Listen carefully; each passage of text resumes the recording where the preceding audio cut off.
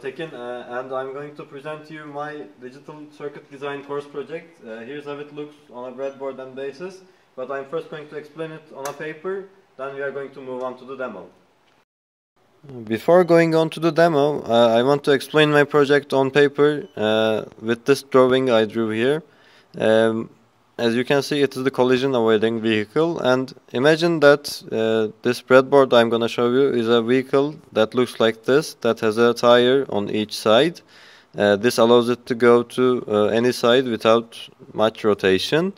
Uh, so this motor connects to these two tires and this motor connects to these two tires.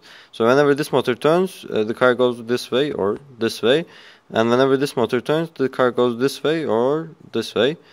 Uh, so to avoid collisions uh, it has to detect objects with sensors like these.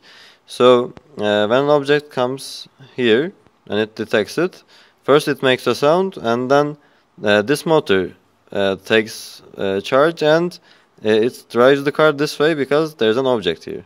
Likewise when there's an object here this motor works and it drives the car this way. Uh, and I will also show how it acts when there are two objects, like here an object and here is an object. Uh, so when there are two objects like this, the motor 2 works and it either goes this way or this way to run from collision. Uh, and I will even show you three objects, like there's an object here, there's an object here, and there's an object here. And then this motor has to work in a way such that this car will go this way. Uh, okay, so let me first show you how it beeps when any sensor detects it. So let's start with this sensor. Uh, you can see it already starts to beep.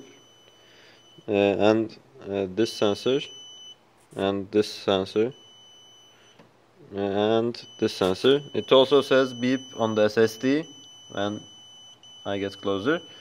Uh, so the next step in this is uh, the turning off the motors. This motor con controls the moving of this vehicle in this directions and that motor connects these directions. So when I come from here uh, this motor should take the vehicle there. So I get closer and closer. It starts to turn immediately. And when I go away it stops.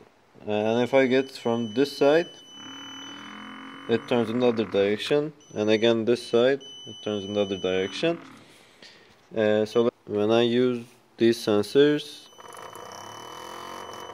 the black tire turns.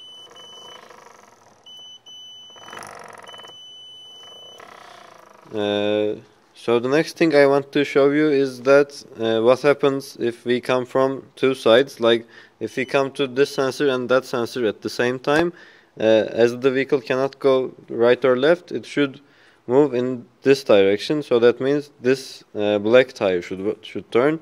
So we are going to close uh, these sensors now.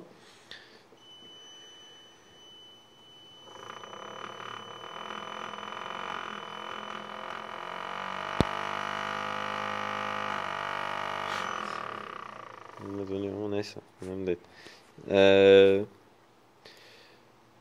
so uh, the same thing with the other two sensors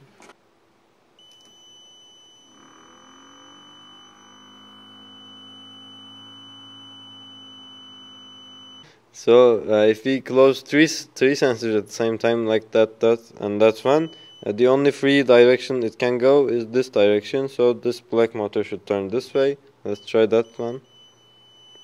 Uh,